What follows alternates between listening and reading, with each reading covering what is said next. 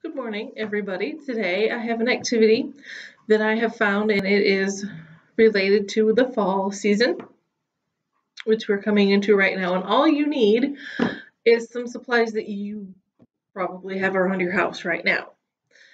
So, the first thing that you're going to need, you can go out in your backyard or through your neighborhood and take a walk and find a branch.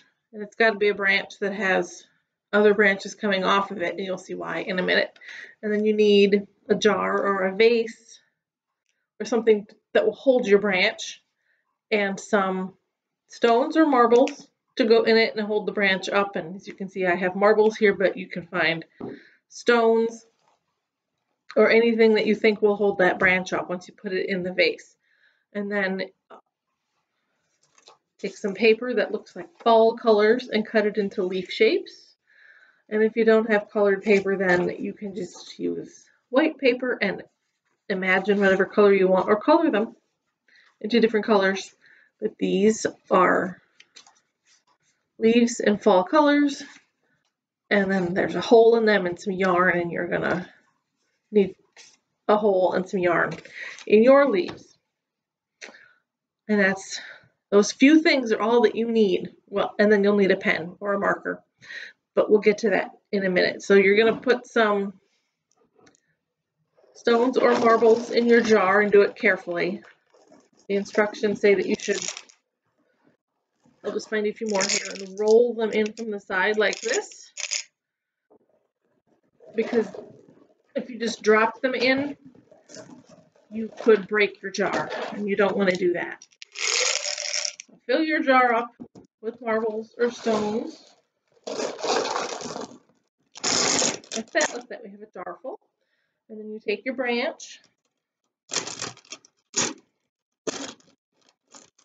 and put it in the marbles so it stands up straight or as straight as you can get it. And then this is called a gratitude tree. So then what you do is you take your leaf and you write on there something that you are thankful for, which I know right now there's a lot going. It's hard to find something to be thankful for right now, but this will be a good reminder that there are things out there to be thankful for, even if it's just your dog or your brother or your sister or maybe grandma came to visit last week. Something a little like that. You can even put that on your leaf for the gratitude tree and for the younger ones who don't know how to write yet, you can have an adult write it for you, or you can draw a picture. And once you, I don't actually have anything written on my leaves, but once you get them written on, then you put, then you can, you put them in a basket, you can take turns reading them, or you can just put them right on the tree. But you can't even see that one. Why did I put it there? Put one over here. And this is why it's called a gratitude tree because it has leaves on it now and it looks like a tree.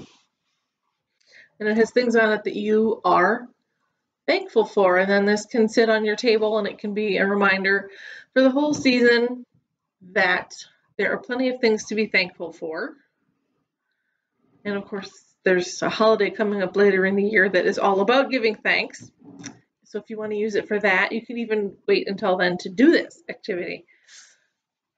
So there are lots of ways you can do that. And then remember that you're grateful for some things that you might not even think about every day, but they're there and they're things to be grateful for. And I want to just show you that I found this activity in this book, the Unplugged Family Activity book. I know I'm talking about unplugged activities in a video.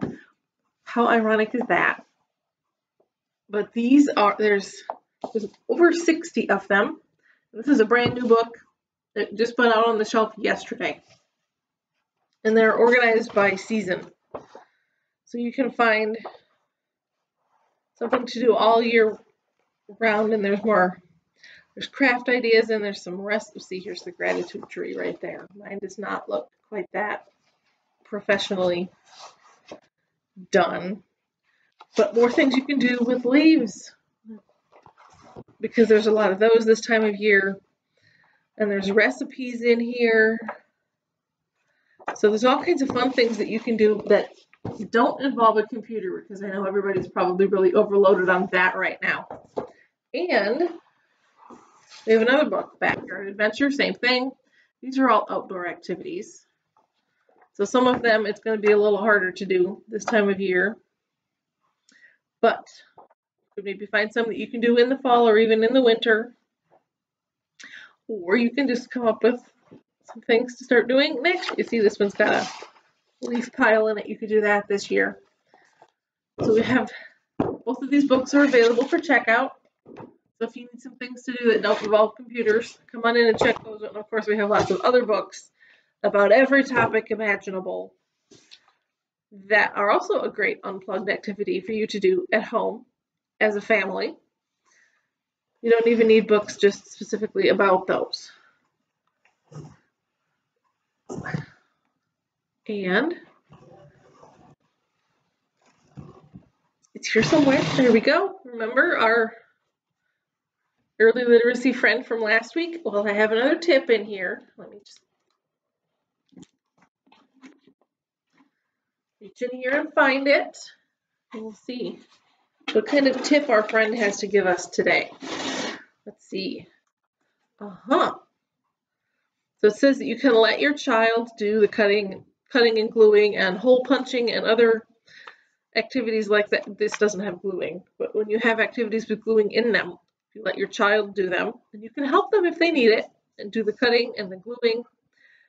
And then those activities will help them develop the muscles in their hand, but also help them develop the fine motor skills that they will use one day when they're learning how to write because they'll be able to hold on to a pencil and they'll know how to move their just their hand when they need to.